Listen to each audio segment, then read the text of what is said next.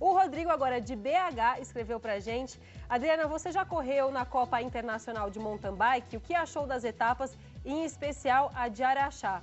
Ele disse que correu lá e achou ótimo. Na minha época, minha esposa estava grávida de seis meses e foi para lá comigo. Legal. A etapa de Araxá é unanimidade entre os mountain bikers. É a melhor pista de cross country que a gente tem por aí. Eu adoro, gosto tanto que no ano passado eu fui correr, mesmo sabendo que não ia participar das outras etapas, que os objetivos eram outros.